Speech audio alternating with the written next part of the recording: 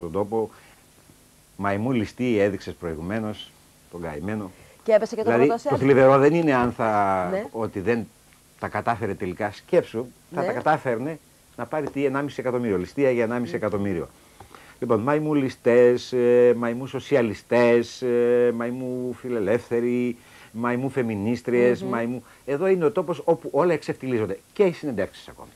Και όπως έλεγε και ο Νταλή κάποτε, αν είναι να ξεφτυλιστώ, θα ξεφτυλιστώ για πάρα πολλά εκατομμύρια δολάρια. Β' ντολάρ λοιπόν, ζήτω το χρήμα για να καταλήξουμε να τελειώσουμε.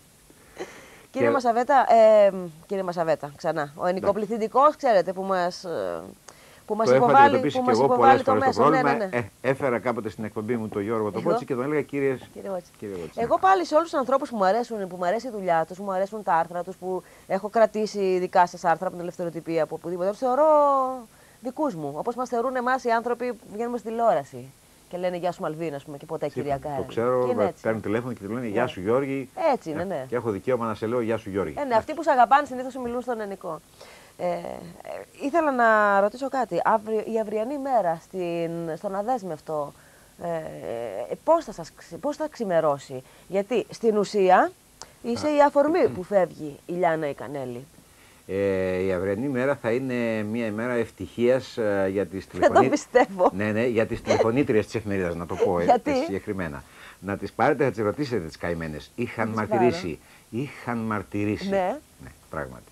Λένε πάντως ότι τα αρνητικά τηλεφωνήματα ανεβάζουν το θερμόμετρο της επιτυχίας. Δεν είναι γεγονός. Αυτό δεν το έχεις ζήσει εσύ; Βεβαίως. Νομίζω και πάρα τα πολύ αρνητικά πρέπει και να τα το έχεις θετικά. Ναι. ε, Το κακό είναι να σε αγνοούν. Το κακό να Εντάξει. σε αγνοούν, ακριβώς αυτό. Ένα σύνθημα, ένα μότο, κάτι που θα έγραφες στον τοίχο αυτές τις μέρες που σήμερα, ειδικά σήμερα, που ο μήνας έχει 9 και έγιναν όλα αυτά τα κουλά που έγιναν.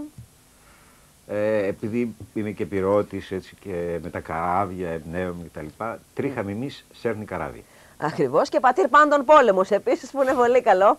Να είστε καλά. Γιώργη, χίλια ευχαριστώ Γεια χαρά. Σε ευχαριστώ που κι ήρθες εγώ. ως εδώ. Φιλάρες γλυκές και πάντα Γεια χαρά. τέτοια.